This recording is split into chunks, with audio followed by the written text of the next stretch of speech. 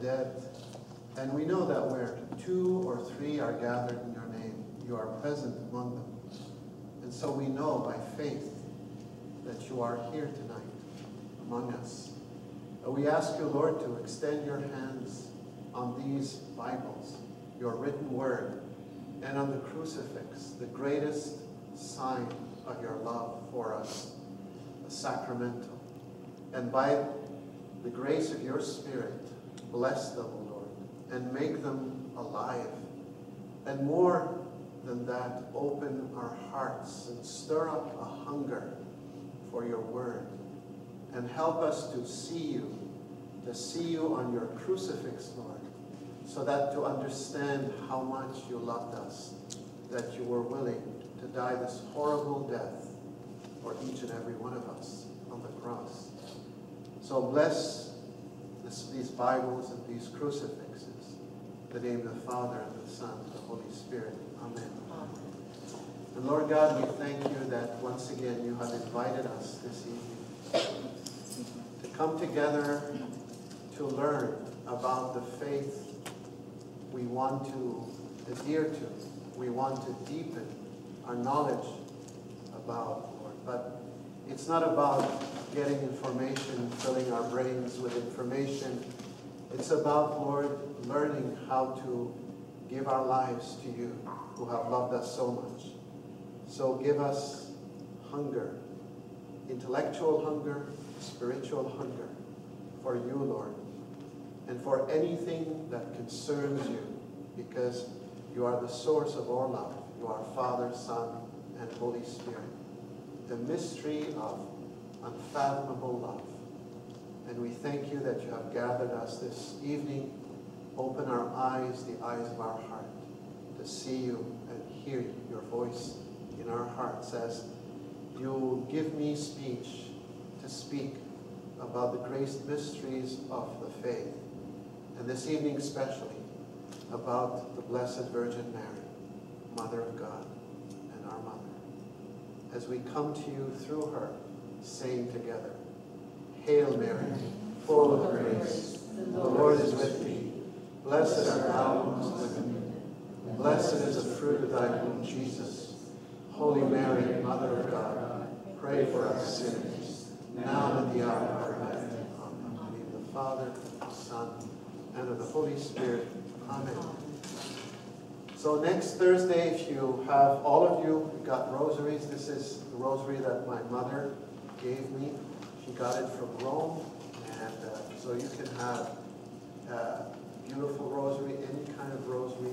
When it's blessed, it becomes a sign, a living sign of God's love, a sacramental, we call that. So today, I am so privileged talk about the one who um, gave us Jesus, who said yes to the Archangel Gabriel.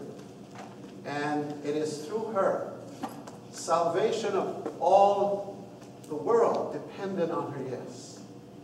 And she said yes. She said, be it done to me according to your word. Now, she didn't say a blind yes. She questioned the angel. She said, well, I'm a virgin. You know, I know no man. So she is also, she used her brain. She used her mind. She was an intelligent woman. But she was mostly a woman of faith. And it is through her. And it's because of her yes that tonight we're here. So we're going to speak uh, about her this evening. Not so much about dogmas and doctrines. We're going to touch on these, but we're going to learn how to know her, and through her, know her Son. And through her, know the Holy Spirit. And through her, know the Father. So she's not only the mother of Jesus, God made man, so we call her Mother of God. She's the mother of Jesus. But she, our Catholic tradition has called her also the spouse of the Holy Spirit because when she said yes to the angel Gabriel in the Gospel of Luke, you know, the, the Holy Spirit, God, the Holy Spirit, overshadowed her. and filled her to overflowing, and she became pregnant without human seed. She became pregnant of Jesus, the eternal Word, the Son, the eternal Son of the Father, who became, uh, who became, uh, who grew in her womb for nine months. And, you know, she felt him. She probably talked to him while he, he was in her womb, especially when her belly started to become inflated. So she touched. And with Joseph, Joseph, her chaste spouse, you know, they vowed together uh, not to have sexual intercourse. They vowed together to be, to be together and to be parents and of this child who is the Son of God. And this is why we call them the Holy Family. Now, the Holy Family because, not because uh, first and foremost they didn't have sexual intercourse together, uh, because they're unique. I mean, I, there are couples throughout the history of the church. I know one, you know, one couple who, when they got married, although both of them were capable of having children, said, no, we're going to live with each other as brother and sister because we're going to consecrate our whole uh, gifts to the church. And so there are cases in the history of the church where husband and wife are live as, as brother and sister, but because they want to really devote their whole lives to Christ. But they're rare. Most of married couples do have sexual intercourse, and it's holy. It can be holy. So the Holy Family were holy not first and foremost because they didn't have sex, as if sex is dirty. Sex is not dirty, especially that God has created us as sexual beings. And as married men and women, you know, it is a wonderful thing to love, you know, husband and wife love one another so fully that the sexual intimacy, when it's so filled with real love, can become a symbol, a sacrament of the love of Christ to his uh, bride, the church. Jesus as the bridegroom. So they are called holy first and foremost because they had so much love towards each other and toward that son that God had given them. The one who was going to be the Savior of the world. And so we talk about family virtues. They lived the familial virtues, the virtues of sacrifice, the virtues of love, the virtues of generosity, of patience. They live that perfectly together. And so this is why we call them Holy Family first and foremost. And we still hold them as a model for every family. You know. So, Mary, Mary uh, we know that she was a descendant of David, you know. So she came from that line. And so, uh, because it was prophesied that her son Jesus would be the son of David, that is, a descendant of David. So, Mary in the church uh, outlived her son. You know, she lived beyond her son. We know that Jesus you know, Pope Benedict XVI uh, have just published a third, the third volume of his writings uh, on Jesus of Nazareth. And the third volume, actually, I, I ordered it yesterday and I, I downloaded it as a Kindle book from Amazon, so I have it in my, in my iPod, on my iPod. So it talks about the infancy, about the period where Jesus was an infant. So obviously, he, I haven't read it yet, you know, he's, he's, he's speaking about the Holy Family, about Joseph, about Mary, and about baby Jesus and the infant Jesus. So Mary was first known in, in the Gospel of Luke. The, the Gospel of Luke is the Gospel that speaks uh, very much about Mary. I mean, all the Gospels speak about Mary, the Gospel of Luke and the Gospel of John.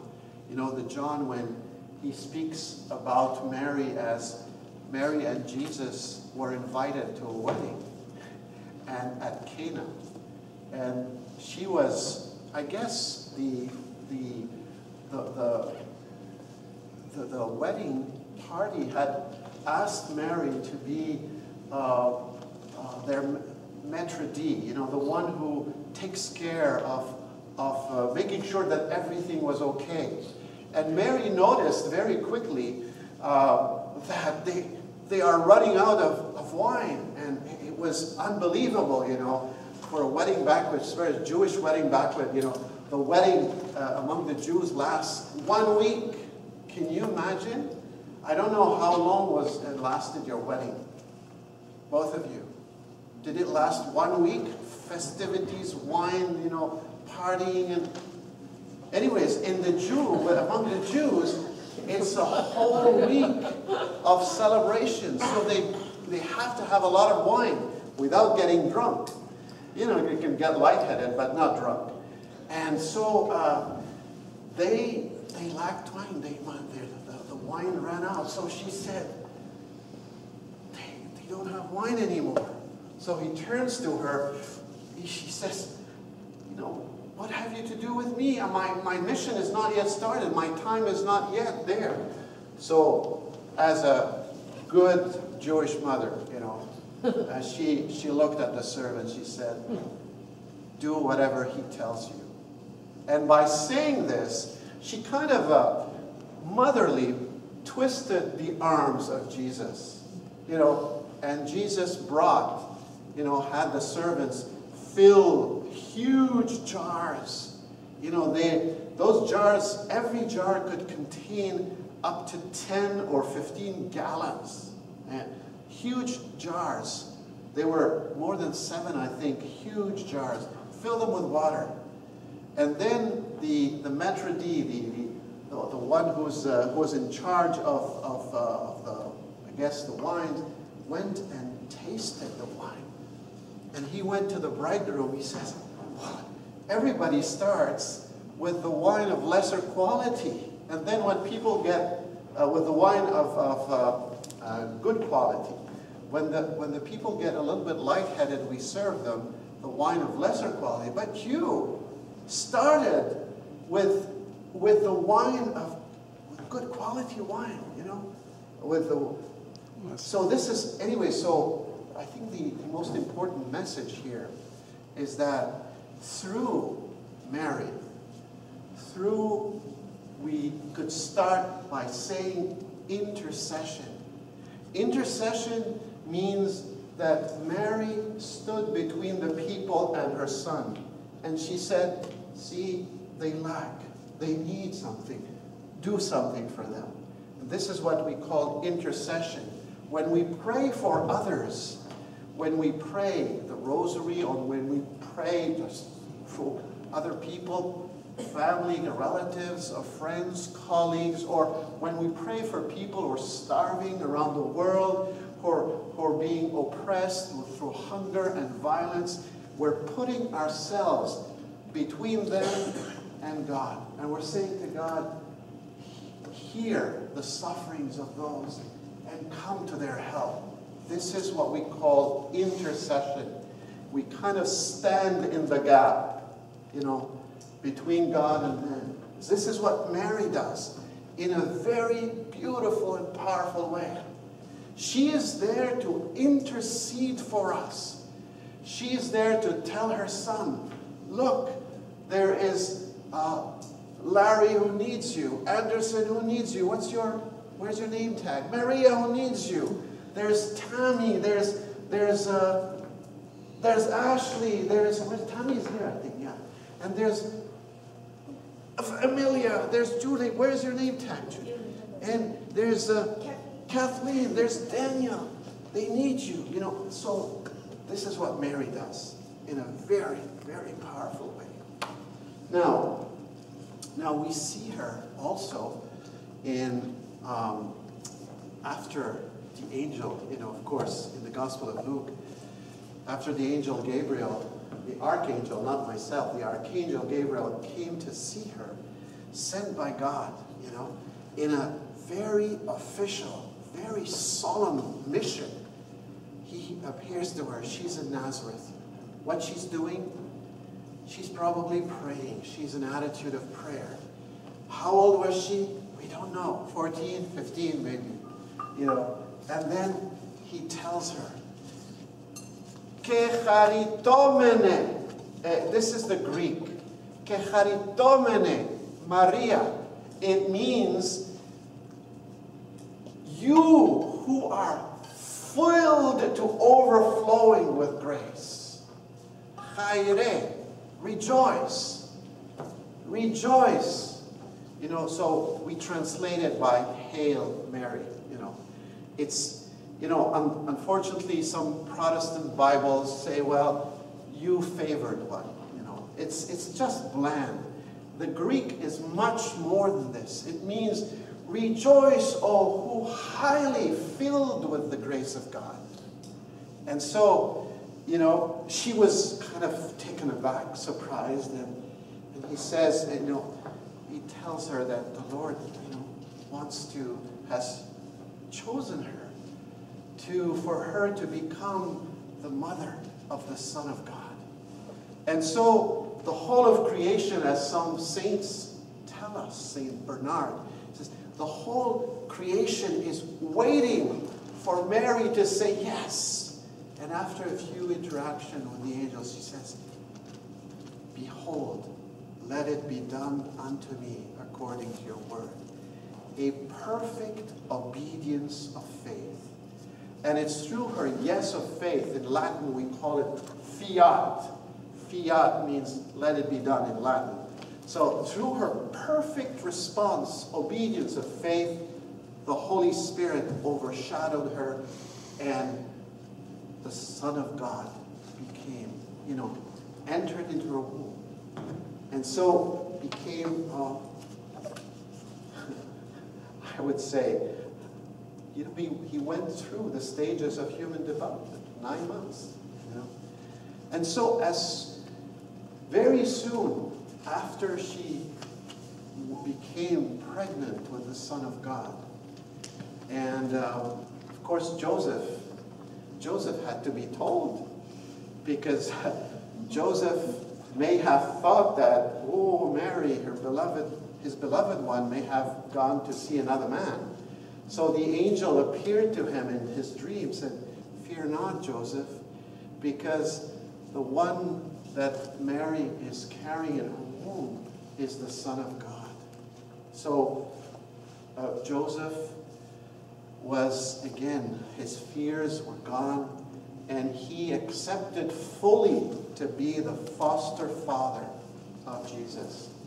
So as soon as Mary knew um, she became, you know, the mother of the Son of God, the mother of God. We'll talk about this later.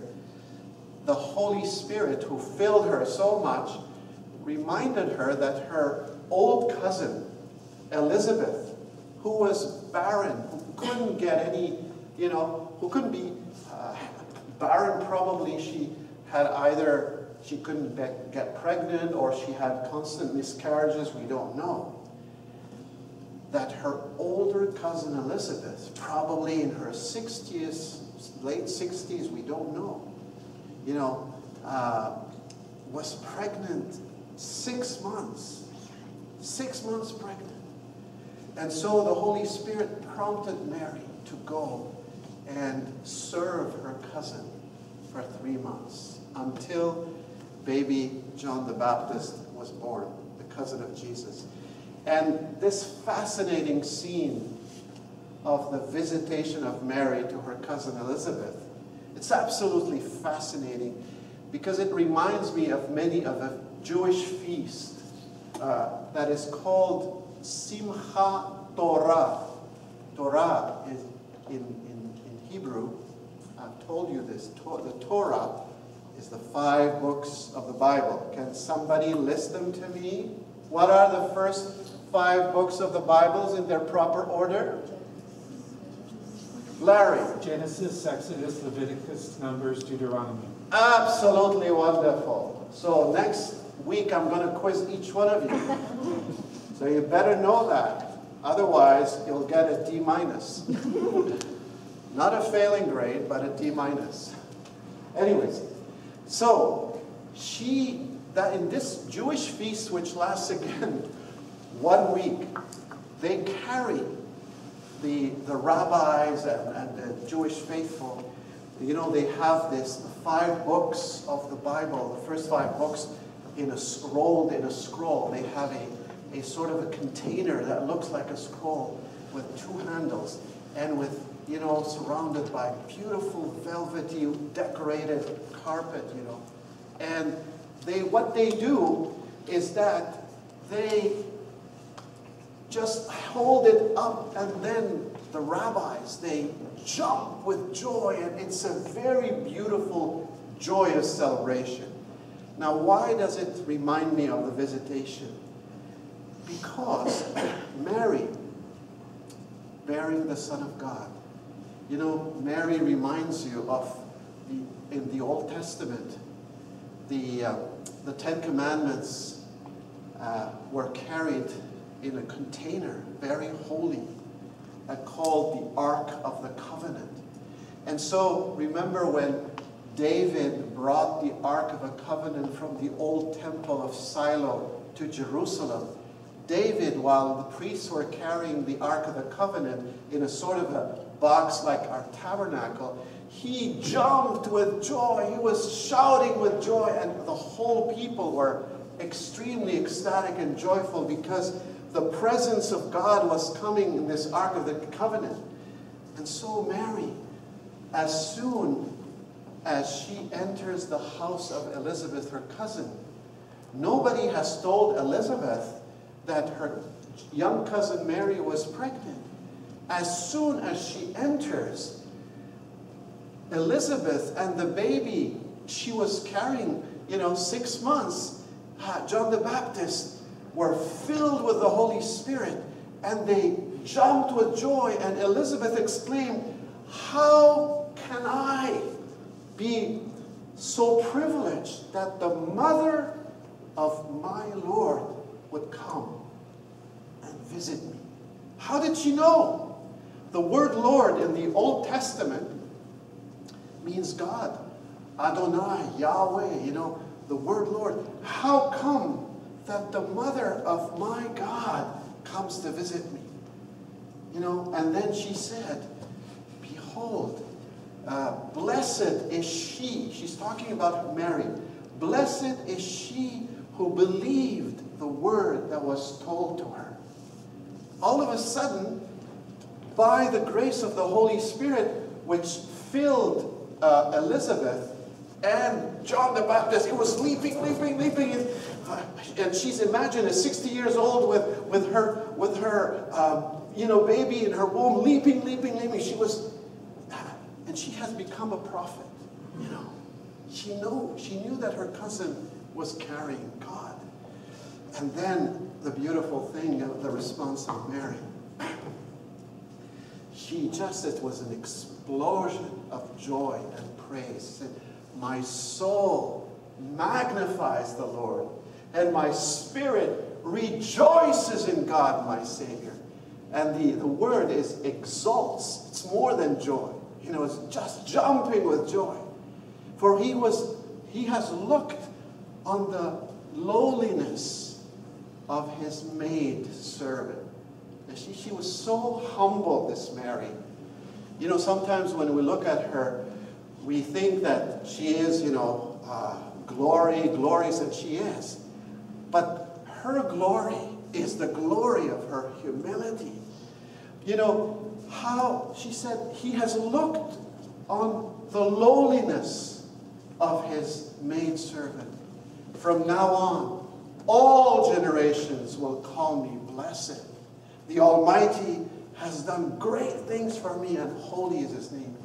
And you know, when hopefully one day I get to heaven, I'll ask Mary and Elizabeth, what did you do during this scene? Because I can imagine them hugging their each other and jumping with joy.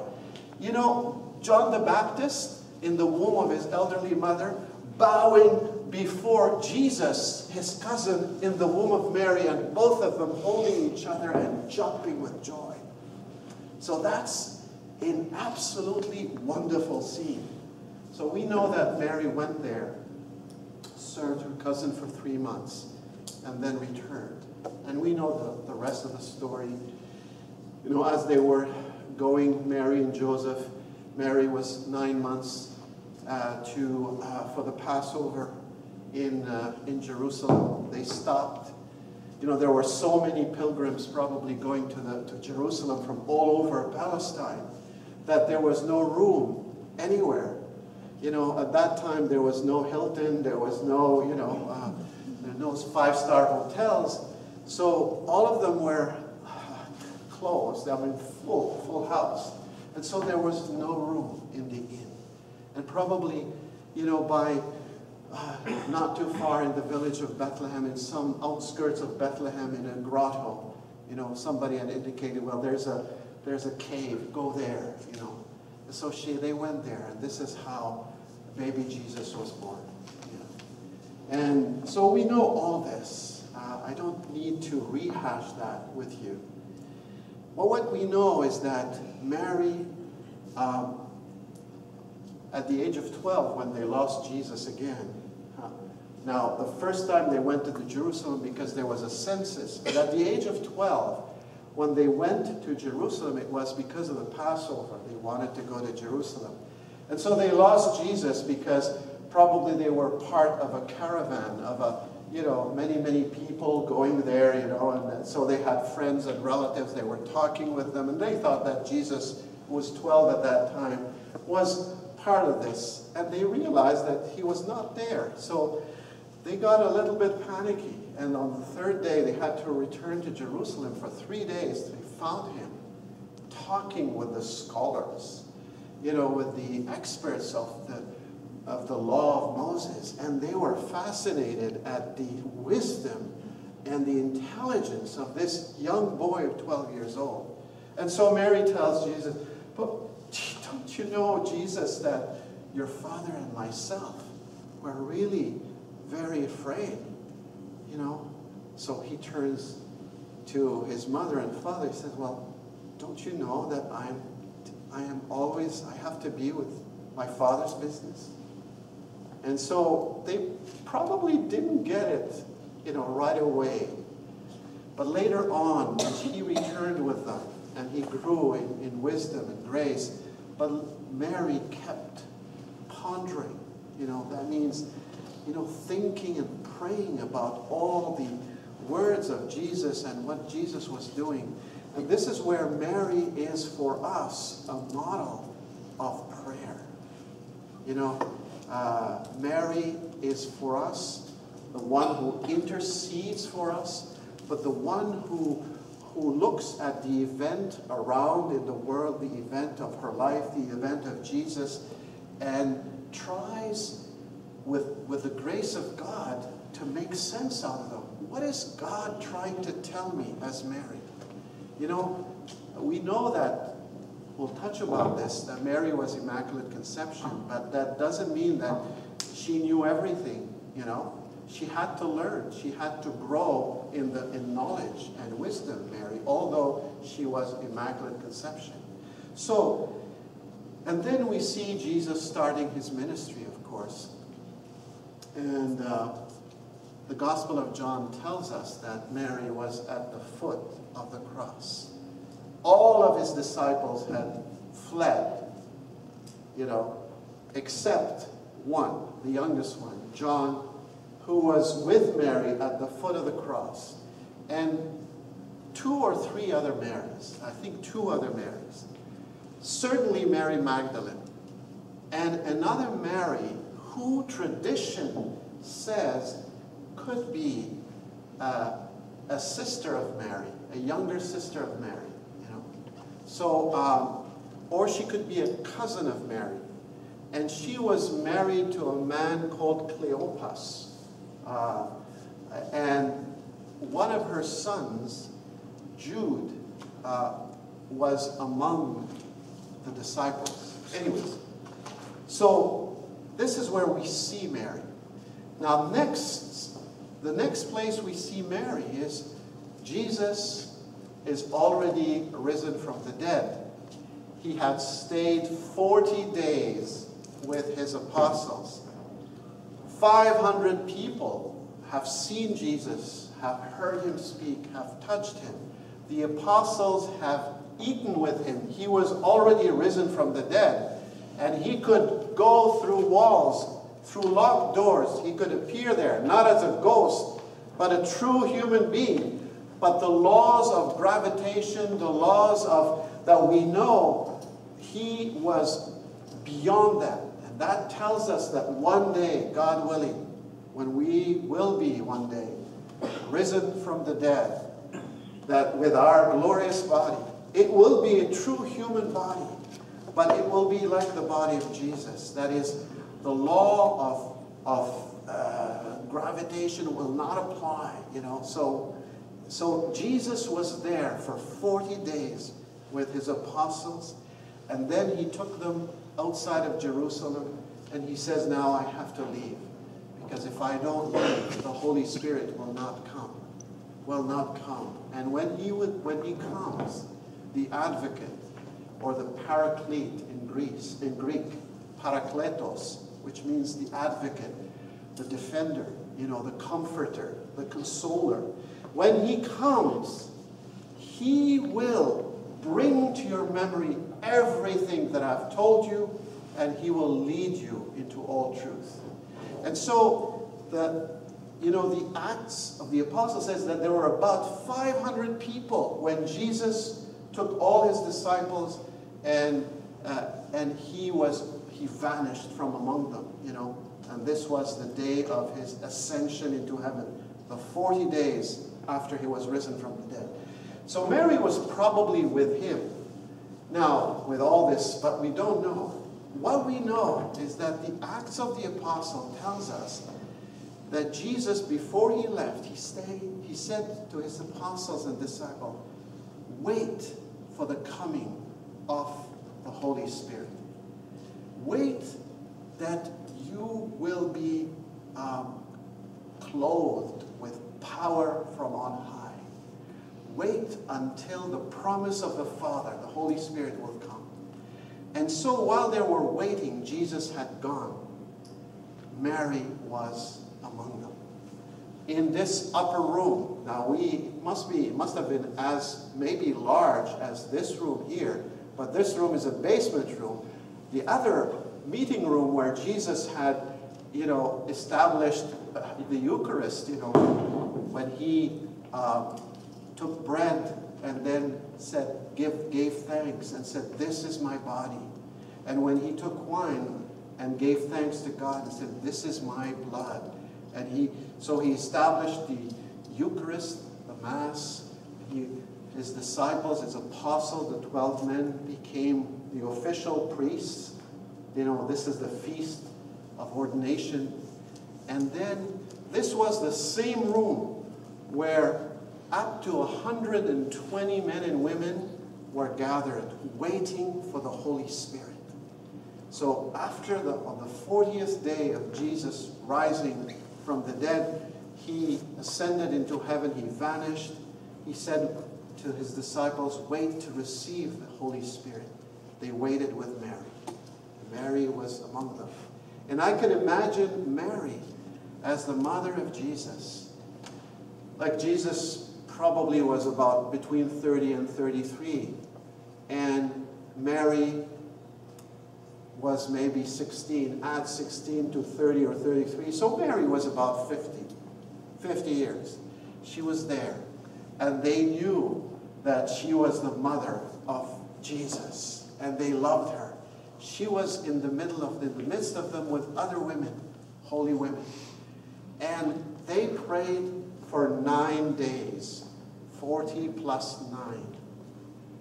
And Mary was among them. And that was the first novena. When we Catholics pray for nine days with Mary, we call it a novena. That was the first novena. And after they finished nine days of prayer. On the tenth day, which was 10 plus 40, the 50th day of Jesus' resurrection, it was the feast of Pentecost. All of a sudden, as we know, ooh, mighty wind, my sound of a mighty rushing wind came in. And all of them, can you imagine Mary, had some flames, tongues of fire coming on each one of them. And they started praying and praising God with, in a heavenly language, that all the thousands of pilgrims who were there in the marketplace, you know, uh, for the feast, Jewish feast of Pentecost, heard them speaking, the, declaring the praises of God in their own languages. You can imagine Mary, the first one who had accepted, received the fullness of the Holy Spirit on the day of the Annunciation when Gabriel the archangel came to see her. She was like a magnet. She was the one who whew, attracted the Holy Spirit.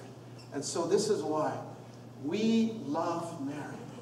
When Mary is part and parcel of our prayer, of our faith life, we can be sure that Jesus is there, that the Holy Spirit is there, and that the Father is there.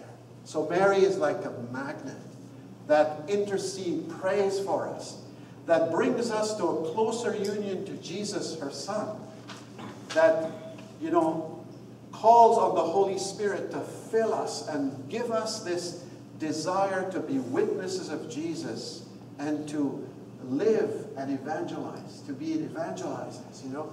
And Mary teaches us how to pray to the Father. So, we know that Mary was there. Now, after that, we don't know what happened. Scripture, the Bible becomes silent about Mary. Except that we Catholics, we have, as we know, sacred scripture and sacred tradition. Sacred tradition is made of the many, many oral traditions that were given to the apostles by Jesus. You know, not everything was written. As I told you before, the last chapter of the Gospel of John, chapter 21, says that if we had to write everything that Jesus said or did, we would need all the books of the world to do this. So there were oral traditions that became part of these sacred traditions. Now, what this sacred tradition tell us, there are two traditions. That after Mary was given on the foot of the cross, Jesus in the Gospel of John turns to Mary, and she, in his agony, tells her, Behold, your son. And he turns to John and he tells him, Behold your mother. So, what Jesus did is give Mary to John. Entrust John, the only apostle who, who didn't flee, who didn't, uh, he entrusted Mary to the faithful apostle John. And the faithful apostle John symbolizes the whole church.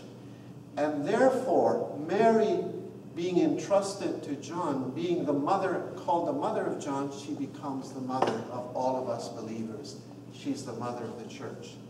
So one tradition says that Mary took her, uh, John took Mary with him, and he lived with him.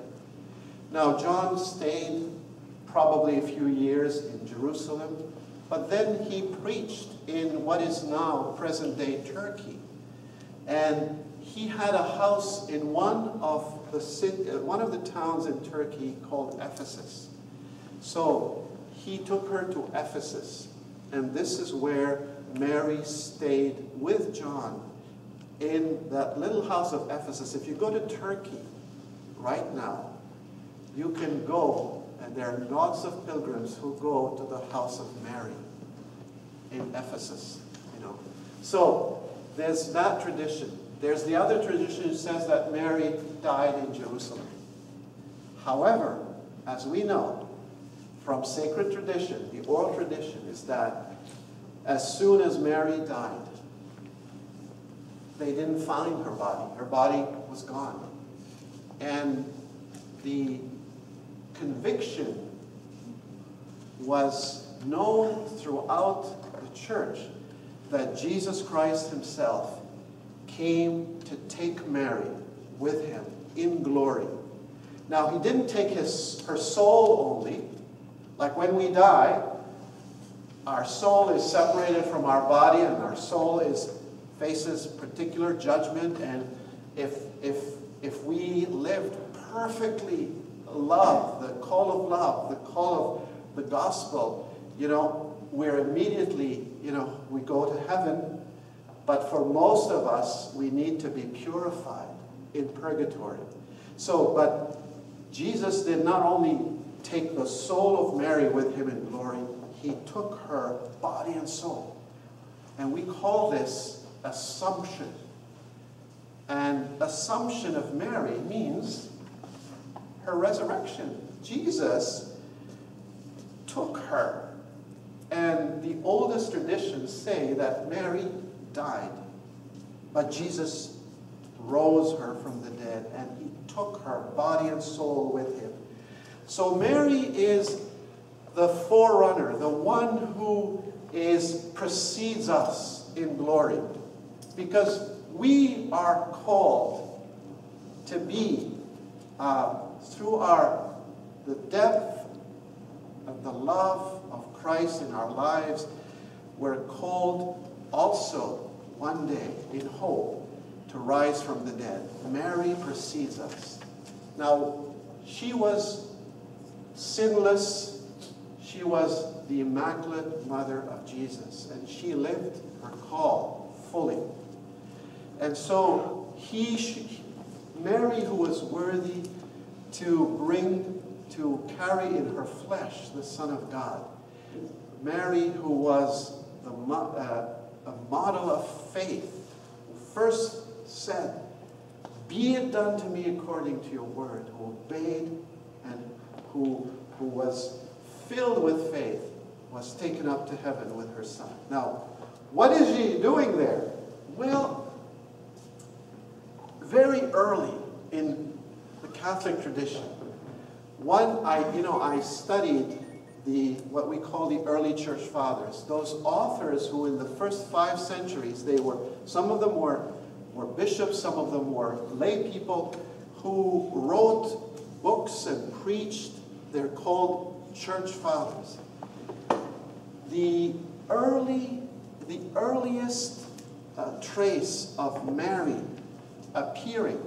You know, we've all heard about the apparitions of Mary in Lourdes, in Fatima, and elsewhere, you know, especially those recognized apparitions. One of the early church fathers whom I studied personally, St. Gregory of Nyssa, who lived in the fourth century, late fourth century, he says that his great grandparents uh, knew about one uh, man who became the one who evangelized Turkey, you know, the one who was really uh, preached and founded a lot of churches in Turkey in the third century. His name was Gregory, and he was known as a wonder worker. St. Gregory the wonder worker. He fell ill and he was about to die. He was so ill. We don't know exactly what kind of illness. It could have been hemorrhaging. It could have been all kind of illnesses. He felt he, everybody was, was, the doctor said he's dying. And he felt like dying.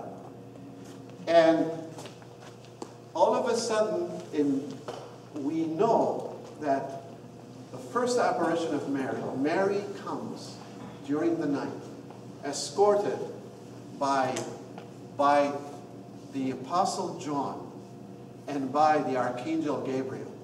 And she says to Gregory, who was so sick about to die, he said, I am going to heal you. You're going to be restored to full health.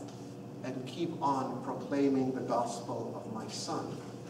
And so we have the earliest trace of Mary appearing in the third century. So the apparitions, when say, well, Lourdes is what? Lourdes is uh, 19th century. Uh, uh, Fatima is early 20th century. But the earliest apparition of Mary is in the third century, at least written down, you know. So Mary, what does she do? She is with her son. She prays for the church.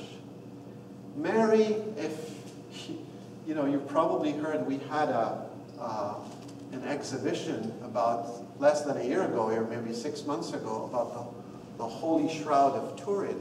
That is Jesus. Uh, but Mary appeared to the uh, in Mexico as Our Lady of Guadalupe, and she um, she appeared like to a peasant who was a Catholic, Juan Diego, and she, she looked like an Aztec princess. At that time, all of the Mexicans were Aztecs, you know. They hadn't yet mixed with the Spanish. And so she, and, and she says, she said to Juan Diego, go tell the bishop to, um, to build a sanctuary for me here, this church. And so uh, he goes to tell the bishop, the bishop who was a holy Franciscan bishop, did not believe, you know, said, well, I don't, I need a sign, you know, that's truly married. So when he came, when he returned, Juan Diego, it was, I guess, winter time. I know, don't know exactly the details of the story. And all of a sudden there was a, a bouquet of, of roses, you know. So he, he, she told him to pick up the roses. And also in his uh, uh, you know, garment. He was wearing a sort of a, a, gown that was called back then tilma, you know, that the Aztec wore. In the, uh, just on the tilma was, there was the, the, the picture of this beautiful uh, princess Aztec. And it was kind of printed on the tilma. So when he went to see the bishop, he showed him the, the roses, I think. And the bishop was stunned because at that, during that season, there's no roses. But then when he opened up, the bishop saw everything on the garment of Juan Diego. And he fell on his knees and he worshiped God. And he built uh, a shrine, a church for, for Mary. And it is through this apparition that millions of Aztecs embraced the Catholic faith. You know that the Aztecs, what they did is they did human sacrifices. It was horrible. If uh, some of you saw the movie by, I think Mel Gibson called Apocalypto, tells you the story of how the Aztecs, when they invaded some people, they would offer them as human sacrifices from the big pyramids that you go and see in Mexico. If you go to Mexico, Chichen Itza, whatever, Oaxaca, Oaxaca. You know, it was horrible. And it's studies shown that every year there were more than a thousand human sacrifices. They would sacrifice babies, they would sacrifice adults. And when Mary appeared and the millions embraced Christianity, the human sacrifices was absolutely stopped, ceased. That was one of the results. So Mary keeps appearing and drawing people to her son and to the church of her son. Of course, who's, who can say, is this really Mary? Maybe it's the devil disguising himself into someone, somebody like Mary. It is the church. The church who has the authority to rightly interpret the Bible has the authority also to discern if this apparition is truly Mary or if the apparition is a phony Mary, you know. So it's the church. Now it's time for us to stop and have a bite. So let us stand up and bless the food that we're going to eat. In the name of the Father, and of the Son, and of the Holy Spirit. Bless us, O Lord, and these thy gifts, which we're about to receive from thy bounty through Christ our Lord. Amen. Father, Son, Holy Spirit. I looked up in the index, Mary, of the YOUCAT. You have the YOUCAT, I do from now on, please bring the YOUCAT with you every Thursday. So, I looked up Mary. There are uh, a few um, questions and answers about Mary. So the one, the first one uh, is Mary, the mother of God. Let's let's see here, uh, which is question number 80. It starts with number 80. Uh, okay, here. First, why is Mary a virgin? As I told you, for those of you who were at the last weekend Mass, you know, I, I, I talked exceptionally. The whole homily was about the YOUCAT, so that you can get to know YOUCAT. It's very, very, very powerful. It's very good. And it's written in a language that you can understand. I'm not saying that the big Catholic catechism is, is the reference, but you know, this one will help you one day to read the other one. Because this one is, is very attractive, the language is simple, lots of examples. I told you three kinds of quotes in the margins. You got a dictionary. All the complicated words and phrases are very well explained. Second, you've got quotes from the Bible, lots of quotes from the Bible, and related, of course, to the questions and answers. And thirdly, you've got quotes from the saints, from the popes, from lay people. Very, very beautiful quotes. So, why is Mary a virgin? The answer God willed that Jesus Christ should have a true human mother, but only God Himself as His Father, because He wanted to make a new beginning that could be credited to Him alone and not to earthly forces.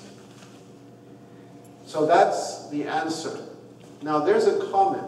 The comment, as I mentioned, are, you know, oftentimes the explanations of the comments contain gems, you know. It says, Mary's virginity is not some outdated mythological notion, but rather fundamental to the life of Jesus. He was born of a woman, but had no human father.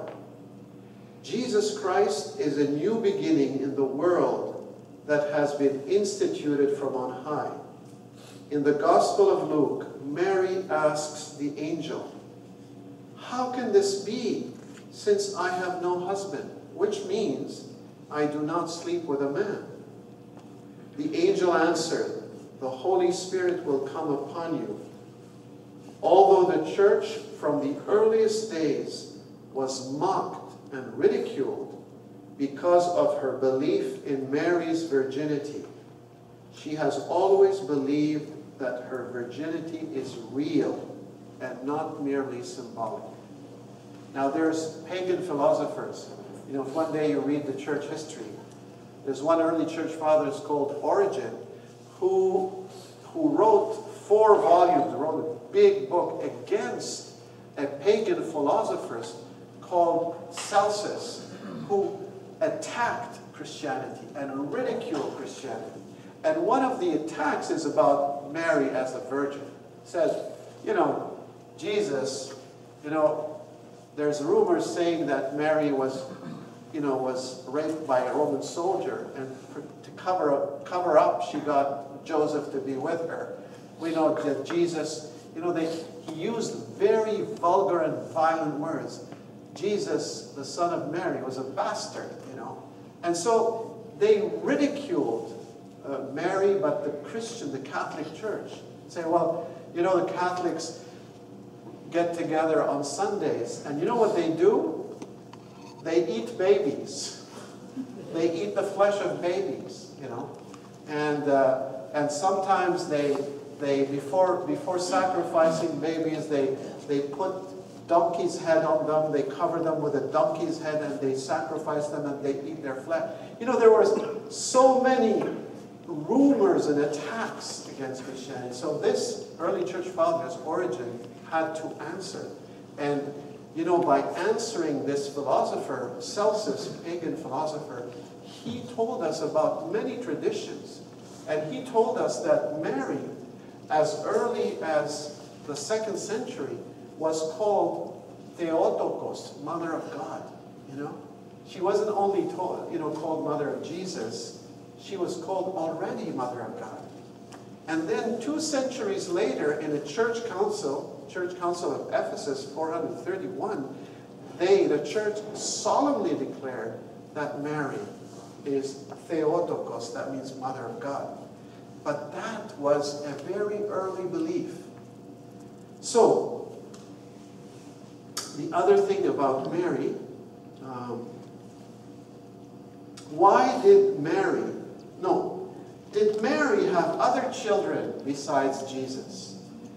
You know, Protestants oftentimes take the Gospel of Mark, you know, and it says, your mother and your brother. We know, we know the, this Jesus. We know his, his, his mother, we know his father, we know his brothers and sisters, and they name them. So, did Mary have other children besides Jesus? The answer, no, because Jesus is the only son of Mary in the physical sense. Now, that's the answer. But the explanation or the comment, even in the early church, Mary's perpetual virginity was assumed which rules out the possibility of Jesus having brothers and sisters from the same mother. In Aramaic, which was the language of Jesus, Jesus' mother tongue, there's only one word for sibling and cousins. When the Gospels speak about the brothers and sisters of Jesus, for instance, in Mark 3 31 to 35, they are referring to Jesus' close relatives. See, in, in this language, Aramaic, there's no two words for sibling and cousins. There's only one word. And we know, you know, if you go to old countries, and know, at least in mine, in the Middle East, I come from Lebanon, born in Syria. You know, Syria is now hell. Uh, it's, you know, people are tearing each other apart. But if you go to those countries, back during the time of Jesus, they husband and wife did not live in a, in a sort of a cellular family. They were surrounded by relatives and cousins. All of them lived close by. So they, we call them extended families. And in those countries, cousins and close relatives were called brothers and sisters. Now that's where the Protestants don't understand, unfortunately. But what can we do? We can just explain to them, and only faith, the grace of God, will change their heart. Uh, another question is Isn't it improper to call Mary the Mother of God? The answer no. Anyone who calls Mary the Mother of God thereby professes that her son is God. And the explanation or the comment. As early Christianity was debating who Jesus was, the title Theotokos, which means God bearer, Mother of God, became the hallmark for the Orthodox interpretation of sacred scripture. Mary did not give birth merely to a man who then, after his birth, became God. Rather, even in her womb, her child is the true Son of God. This debate is not about Mary in the first place. Rather, it's again the question of whether Jesus is true man and true God at the same time. Now, there's another question. What does the Immaculate Conception of Mary mean? And the answer is the church believes that the most blessed Virgin Mary was, from the first moment of her conception, by a very singular, that means special grace and privilege of Almighty God, and by virtue of the merits of Jesus Christ, Savior of the human race, Mary was preserved immune from all stain of original sin. Now that's the answer. Might sound a bit complicated. Explanation or comment.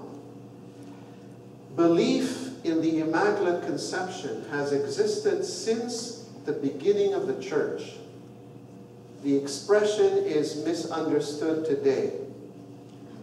It is, Immaculate Conception is saying that God preserved Mary from original sin from the very beginning. It says nothing about the conception of Jesus in Mary's womb. By no means, Immaculate Conception is it a devaluation of sexuality in Christianity, as though a husband and wife would be stained if they conceived a child. It's not a matter, Mary is not immaculate because in Christianity, you know, we think that sexuality is dirty. No way. As I keep saying, as I, you know, Pope John Paul has, you know, prepared or done a whole course, the theology of the body. One day you may want to take it. It's a very powerful course, just to show that, you know, our sexuality is God given, but it is being so much misused, and that's why it leads to all sorts of problems and heartaches and brokenness. This is where, you know, sexuality is best and most beautifully expressed in married love.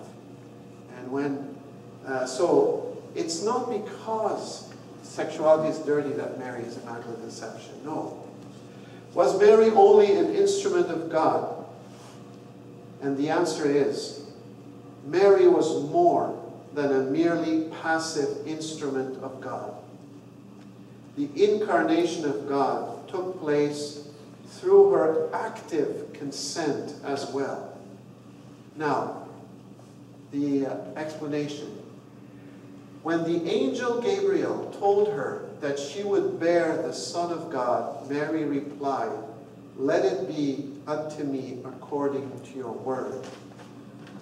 The redemption of mankind by Jesus Christ thus begins with a request by God and the free consent of a human being and a pregnancy before Mary was married to Joseph. You know, when Jews, the Jews, when they got married, first they were engaged. They were engaged by a contract to each other. And so when the woman and the man were engaged, sometimes it could last up to a year.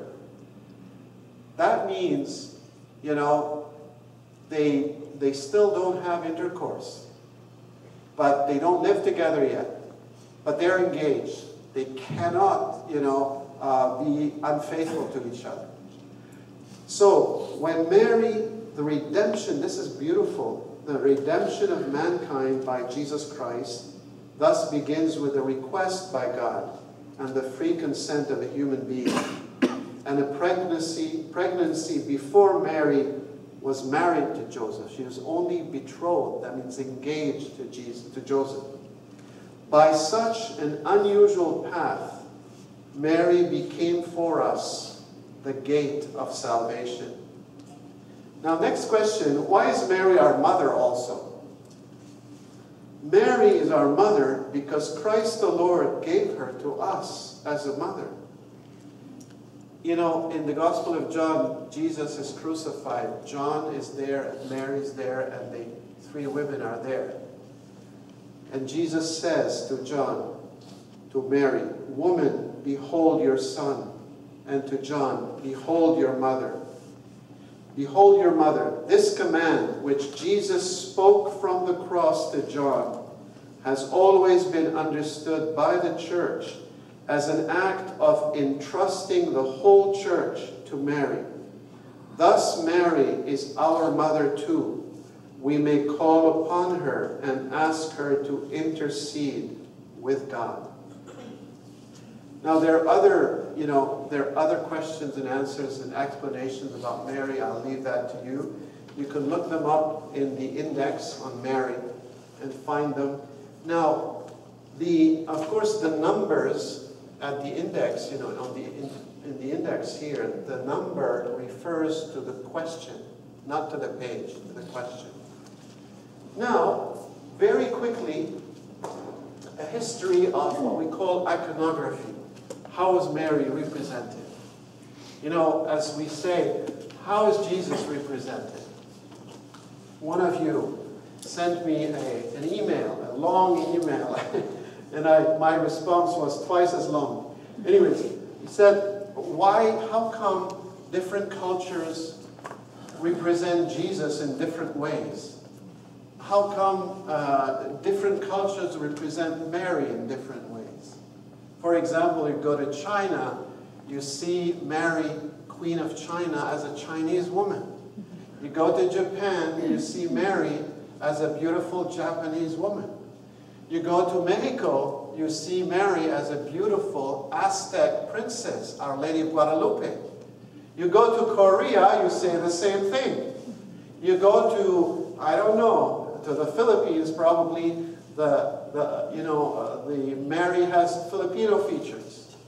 So you go to Africa, Mary, I don't know if she's represented as black woman, but we know in, in, in, in Poland, Our Lady, one of the, uh, the most important representation of Mary is a black Madonna, Our Lady of Czestochowa, because there was a, there was a fire at that time and, and Mary became, her face became black, but she's still being uh, venerated now. So the simple answer is, you re remember, it's not an exhaustive, it's not a full, convincing answer, you know. When we see him in heaven face to face, we can ask Jesus, how come you're president this way? How come married too? But one explanation is that Jesus is risen from the dead. He's capable of, of appearing to people in any way, shape, or form he wants. Remember when he appeared to the two disciples of going back home on the road to Emmaus. They didn't recognize him. And he started questioning them, why are you so sad? Oh, you do, you're, you must be the only one who didn't know that the one whom we've hoped so much to be the king, the Messiah, you know, has been killed and, you know, and now there's three days and some women tell us that he's alive, but, and so he, he asked them, he asked them about, you know, tell them, and he starts to ask them questions and, and then as they get home, that stranger is walking, you know, going somewhere, and well, because of their, you know, when you go to this, these countries, there is what we call sacred hospitality. If a family invites you to come and eat with them or to stay with them, you don't dare to say no. you know, hospitality is sacred. So, this stranger who walked with them, and now it's getting dark, they told him, well, come and stay with us. So he went. And as we see in the Gospel of Luke chapter 24, he took bread. Instead of, you know, a guest usually, he waits for, you know, uh, the host to give him, you know, eat to eat. But he took bread, he gave thanks, and he gave them the bread. And then all of a sudden, when he did this, he vanished from their sight. And they said to each other, was not our heart uh, burning when he was on the way he was explaining to us the scriptures? And they recognized him at the breaking of the bread. They knew that Jesus, their eyes were open. They didn't recognize him before. He was risen from the dead. You know, when you come to eat the Eucharist, the bread of life, do you, your, your physical eyes, do, do they recognize the resurrected Jesus in this bread? They don't. True or not? Do you, your physical eyes, do they recognize, do they see Jesus in this piece of bread? No. because he's risen from the dead. And he is fully present in this piece of bread. That's why we come to receive him in this piece of bread after consecration, to receive him as God, fully God and fully human being also. But our physical eyes, it's, it's impossible. So he's risen from the dead. If he is able to give himself through a piece of bread after consecration, well, he is able to appear as an African for the, for the Africans, as, a, as an Asian to the Asian, as a, as a Mexican to the Mexican. Same thing with the Blessed Mother. She is also risen from the dead. And she appears to the Aztecs in Mexico as an Aztec princess. She appears to the Chinese as a Chinese beautiful woman. She appears to the Africans probably as an African woman. So that's an answer. It might not be fully satisfactory, but that's an answer. Now, so we see that Mary, from the earliest ages of the church, there's a tradition which says that St. Luke, the one who wrote the Gospel of Luke, St. Luke, we know that he was a very well educated man. He was a convert from paganism, and he was a physician, he was a doctor. But he had also another gift. In his leisure time, he, he was an iconographer, he was a painter. So there's an old tradition that says St. Luke was the first one to have painted an icon of Mary. Of course, that's a tradition um, among other traditions. There's another tradition who said that, you know, remember Veronica when Jesus was being carrying the cross and going to Golgotha? There was a woman named Veronica who took her a veil and put it on the face of Jesus. And the face of Jesus was printed on her veil, the veil of Veronica. There's also that tradition that Jesus, uh, Jesus' face was printed uh, miraculously on the veil of Veronica. But there's an older tradition. One of the kings during the time of Jesus, uh, around Iran now, you know, asked Jesus to come and preach the gospel in his country. And Jesus said to him, I cannot, I cannot. But I will send you one of my apostles, uh, Bartholomew, to go and preach the gospel. And I will give him a sign of my presence with you. And so this sign was, again, on a piece of cloth. Uh, you know, the face of Jesus was printed. And this tradition is the tradition, you can look it up, the tradition of the mandylion. Mandylion means the veil on which was printed miraculously the face of Jesus. And there is a connection between this tradition, which is a very old tradition, and the shroud, the shroud of Turin. So we have representations of the face of Jesus very early on. Around the fourth and the fifth century, there was a there were traditions of Mary and Jesus painted, which we call icons. And so there's also a tradition of Jesus uh, in iconography, Jesus as the King. You know, on Sunday we celebrate the solemnity of Christ the King. If you go to Istanbul, anybody went to Istanbul, Turkey? Well, if you go to uh, one of the greatest old churches transformed now, first into a mosque and then now into a museum, Hagia Sophia, Holy Saint Sophia, you will see that Jesus as the King represented. So, so this is very early the representations of Jesus and Mary and the angels. Mary was always represented with Jesus, always. And very soon, colors became symbols. For example, red is always color of blood. You know, this is, this is uh, usually the original is red because this is a very old icon dating from the 13th century. This is not a, the original, obviously. Uh, so blue is the color of divinity. And red, as you know here, is the color of blood, passion. You know, Jesus as true God, who for love of us uh, shed his blood to redeem us and save us. So you notice here that Jesus is not represented as a baby. He's small, but he looks like a, a you know, kind of seven, eight years old, you know.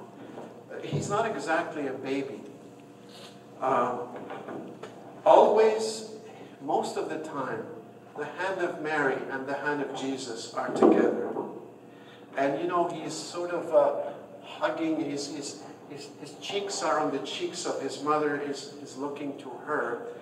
And she looks to us as if she's telling us, as I'm holding the hands of Jesus, my Son and my God, I want you to look at him. So icons are not paintings.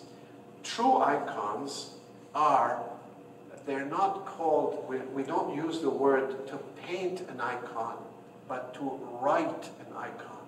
Because icon, icons are words of God that are meant, originally they're meant for those who didn't know how to read and write. You know, up until, I would say, I don't know, a hundred years ago, the majority of people didn't know how to read and write.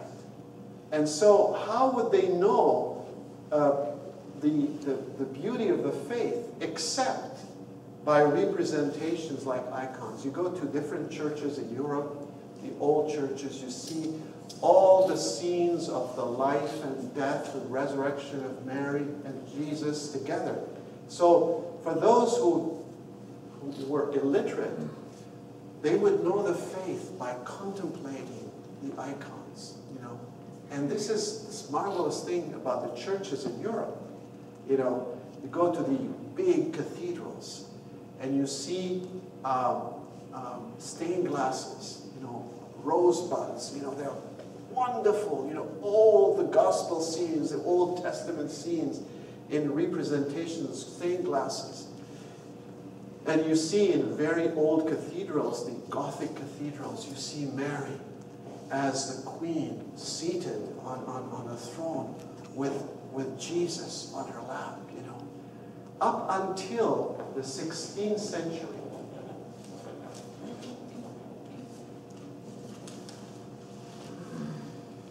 most, I would say 99% of the representation of Mary were always with Jesus. Around the 16th century, we see a new phenomenon. Mary started to be sculpted or painted alone, not with her son. Uh, we see later apparitions, for example, in Lourdes and Fatima.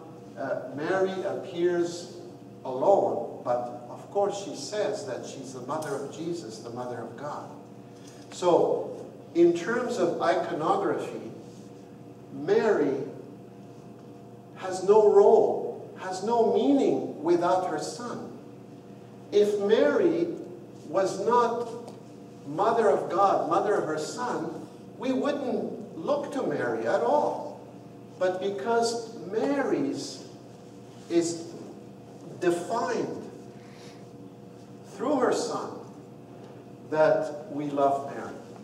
Now, I would like to say that, you know, sometimes through popular devotions, we can overemphasize the importance of Mary. Sometimes Mary becomes like a goddess, but Mary is not a goddess. There is, in Catholic Orthodox belief, in Catholic tradition, there's two ways of relating to God and to the saints. One way to relate to God is called, the way to relate to God is called latria. Latria means worship in, in the Greek, latria. And you recognize this word, idolatria, idolatry. Idolatry is worship of false gods. So the worship of God is latria. Who can we worship? We worship God the Father, we worship God the Son, and we worship the Holy Spirit. Now, as we know, we call the Father, Son, Holy Spirit one God and three divine persons, the most blessed or the most the Holy Trinity. So we worship God, the Trinity, and we worship God the Father, God the Son, God the Holy Spirit. As I said a few weeks ago, God is Father, Son, Holy Spirit. There are no three gods. There's one God and three divine persons, united in, in a mysterious way, in a unique way. So, this is the true worship. Now, how we relate to the saints, the one who were faithful from start to end to the gospel, who loved in a heroic way, is called dulia. Now, these are part of your dictionary. So, Mary is the highest, the most blessed of all the saints, but she's a creature. And St. Thomas Aquinas gives her the title of hyperdulia. That means the most blessed or the most venerable of all the saints. So, Mary is a creature, and we have to relate to her as a creature, not as a goddess. Only God can we worship. Mary, we don't worship, we venerate. There's a verb in English venerate. We honor Mary. We venerate Mary. We never should say worship Mary. It's an abuse of language. So, Mary being a creature, albeit the most blessed, the highest of all creatures, the humblest one, she's Immaculate Conception, but she's not a goddess. She is hyperdulia, that means the most honorable, the most blessed of all creatures. So, in some popular devotions, sometimes there are abuses where Mary is kind of nearly worshipped and we forget her son. Mary has no meaning without Jesus. She is the servant of the Most High. She is the mother of her son, but she is the disciple, the servant of her son, who is God. Now, Mary has the honor of being the mother of God, but she's not a goddess. She's like a queen mother, you know? The queen mother has influence on her son, but her son is the king. You know, so that should be very clear. So, as I said, we see, especially the Western Church, the Catholic Church in the West, Mary from the 16th century on represented mostly alone. Whereas in the Eastern Church, Mary is always represented with her son Jesus. Now, I want you, uh, before we, we leave each other, I, I want to give you a pocket rosary so that you learn how to pray the rosary. So, so could you distribute this, please? Here, could you pass it on, please?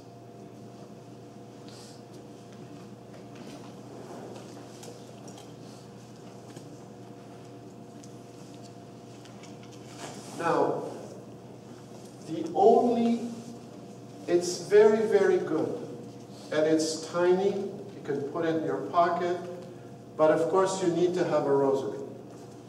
And of course, everything we pray with uh, preferably needs to be blessed. So, next Thursday, when you bring your rosary, you will bless them. And we'll start, you know, praying slowly but surely the rosary. Unfortunately, I, I had hoped that this evening we could pray the rosary together, but, you know, we're five minutes before nine. So we need to end. But I do encourage you very, very strongly to read this little booklet and to start praying together or on your own the rosary. It's a very beautiful prayer. Make sure that your heart is in your prayer. It's not only your lips and your words. You gotta invest yourself in the prayer. Okay? So uh, we're going. To, do we have any left? Yeah. Two. I got two further. We got two. Jennifer. Okay. Now, the only thing that has been slightly modified is the Apostles' Creed. There's a new translation, but this is still good. But now we have to learn the new translation, which we say at Mass on Sunday. Um, he suffered on the Pontius Pilate, crucified, died, was buried. He descended. The old translation was he descended to the dead. Now we say he descended to hell. He went to hell. I still don't know the new translation by heart. I need to read it. So this is very, very good. And it will help you pray. One way of praying is praying the rosary. And you can get, you know, this is this is one rosary, but I prefer the brown beads. I guess men prefer the brown beads. Women prefer this kind of, uh, and um, it's also depends on taste. Uh, okay, so let us rise up and pray one last and final prayer. In the name of the Father, and of the Son, and the Holy Spirit. Amen. We thank you, Lord God, for your love for each one of us. That love that today was manifested in telling us about Mary, the mother of Jesus, the mother of the Lord, the mother of God. She is our mother. She's also our sister. And she prays for us. She prays that our hearts will be on fire, like those two disciples on the road to Emmaus. She prays that we become holy disciples of her Son. So, Mary, we entrust this evening our lives to you, our, the lives of our families, the lives of our loved ones. We ask you to keep praying for us so that as we advance in RCIA, we, we want and we hunger more for Christ, your Son. And we want you to pray for us this evening so that as we return back home, we will return our hearts filled with the joy and peace of your Son. Pray for us so that we can have also a good night's sleep.